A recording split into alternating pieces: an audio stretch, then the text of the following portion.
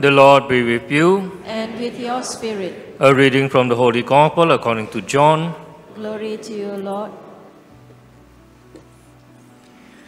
The Jews were complaining to each other about Jesus because he said, I am the bread that comes down from heaven.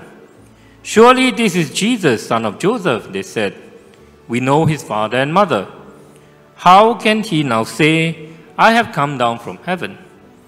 Jesus said in reply, Stop complaining to each other. No one can come to me unless he is drawn by the Father who sent me, and I will raise him up on the last day.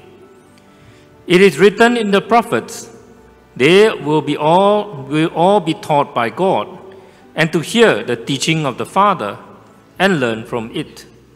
It comes to know to me. Not that anybody has seen the Father, except the one who comes from God. He has seen the Father. I tell you most solemnly, everybody who believes has eternal life. I am the bread of life. Your fathers ate the manna in the desert, and they are dead. But this is the bread that comes down from heaven, so that a man may eat it and not die. I am the living bread which has come down from heaven. Anyone who eats this bread will live forever. And the bread that I shall give is my flesh for the life of the world. The Gospel of the Lord. Praise to you, Lord Jesus Christ.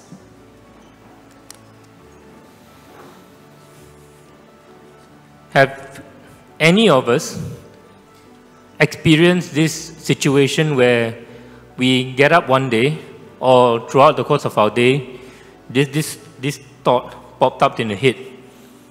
That's it. I'm done. I don't want to do this anymore.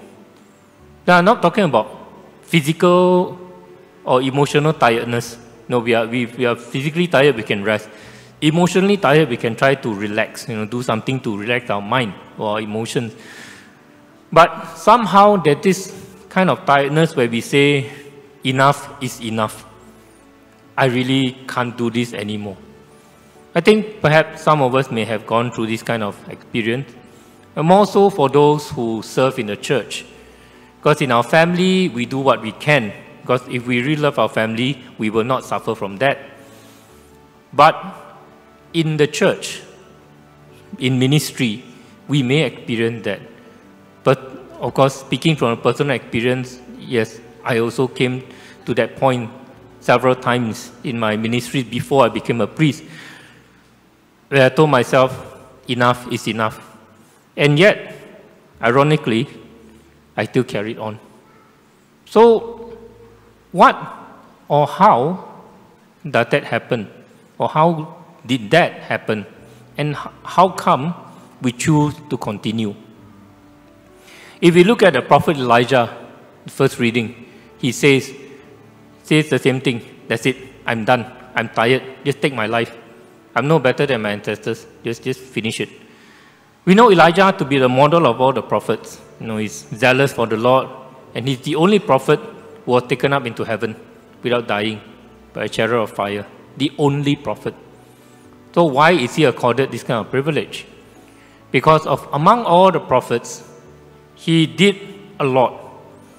And he suffered a lot of persecution, not just because of his words, because of his actions. We know from the book of Kings that he had a lot of alter- altercations with Jezebel and King Ahab. No, he killed all the prophets of Baal, 450 of them, destroyed all the Baal religion in the country, restored the religion of the Israelites. And yet, because the king and queen, they were not happy with him, so they kept persecuting him. Which is why it come to a point where he said, enough. I'm no better than my ancestors. Why? It's because no matter what he did, it doesn't seem to make a difference. Same with all his ancestors. You know about the patriarchs, Moses, Abraham, Isaac, Jacob, all this. They did so many things. And yet, did it make a difference? Yes, for a while. But after that, people reverted back to their ways. And it happens with all the prophets. It happens even now. We do so many things. We serve in the church. We serve in ministries. hoping that something good will come out of it. And yet, nothing changes. Also, it seems. On the physical side, yes. On the surface side, nothing changes. But on the level of the soul, on the spiritual realm, we will never know.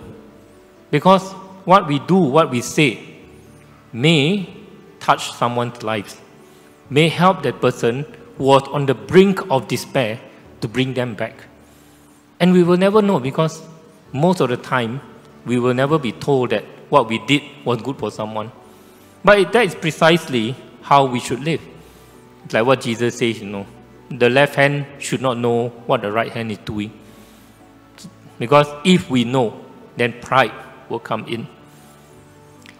But how do we sustain ourselves in this cycle of, I wouldn't say hamster on a wheel, but it will seem like hamster on a wheel. Just tuck, tuck, tuck, tuck, tuck, tuck, tuck. tired, eat, sleep, drink, go on a wheel again. Tuck, tuck, tuck, tuck, tuck, tuck, tuck. So it's just an endless cycle of running on the wheel.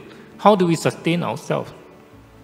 You look at Elijah, tired, lie down. He's just hoping to lie down and then don't, don't wake up again. But the angels came to fed him. Because we know the angel didn't go to a bread shop and just say, I want, I want a piece of bread and bring some water and buy for him. It's a special kind of bread. In Latin, we call it panis angelicus, the bread of angels. And that is the one that the Israelites had in the desert, that manna that comes from heaven. And we see the effect of two meals, just two meals of bread and water. He can walk 40 days and 40 nights to the mountain of God. So clearly, it is not a normal piece of bread. It's a divine bread. And this is the bread that Jesus refers to in the gospel today the bread of life. The Israelites tell him, Our fathers ate manna in the desert. Moses gave us that bread. That was last week's reading. That Jesus said, No, it wasn't Moses who gave you the bread. Clearly, if you read it, it's not Moses. Moses interceded for the people. And bread came down from heaven. So, the problem is we forget who gives the gift. We focus so much on the gift that we forget the giver. And this is precisely what happened to the people of Israel until the time of Jesus, or up to the time of Jesus, because they only think of the thing that they got, but they never thought of who gave it to them. Yes, they say Moses gave us that bread, but how did Moses produce the bread? He got kilang in the desert. Ah. Don't have one. So he had to come from somewhere. But they never, they were not able to go beyond what is on the surface.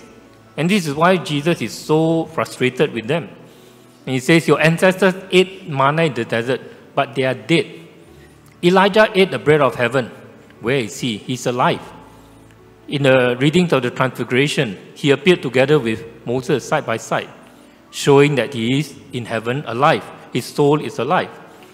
So, this is what Jesus meant to say to the people look, this kind of bread you eat, you physically die, but your soul lives on. So, this is the one that nourishes us in our daily life to nourish our soul. The reason why we are so tired sometimes we want to give up in ministry because our soul is tired. It's not just our soul. Sometimes what affects our mind and our body affects the soul. And I mentioned this several times about us being the human person. We are made of body, mind, and soul. Whatever happens to one affects the other. If our mind is tired, our body is tired, it will affect the soul. Our minds and body, we can rest. But how do we rest the soul? We rest the soul by coming to God, to receive the bread of life. Because for us, many of us who have come for Mass regularly 20 years, 30 years, 40 years, 50 years, 60 years even, sometimes we become apathetic. It's like, hmm, it's just a piece of bread. But is it really? Until we are able to change the way we see the Eucharist, we will always end up being tired by what we do. But if we are able to see the Eucharist as more than just a piece of wafer, we see it as the bread of life, then it can give nourishments to our soul. And with that, the soul will help to give strength to the body and the mind. And this is what we are here every Sunday to receive the bread of life so that we know by nourishing our souls, even when we pass on one day, our soul will live on, and one day it will come to the kingdom of God.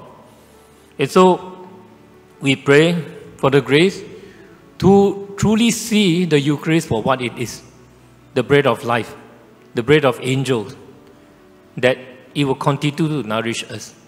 Now, another side trivia Jesus says he's the bread of life. Jesus was born in Bethlehem. Okay. Bethlehem in Hebrew means house of bread. Beth is house, Lehem is bread. It can also mean flesh, but in this context, we talk about house of bread. So, being born in the house of bread, he himself becomes the bread that feeds the entire world. Something for us to think about.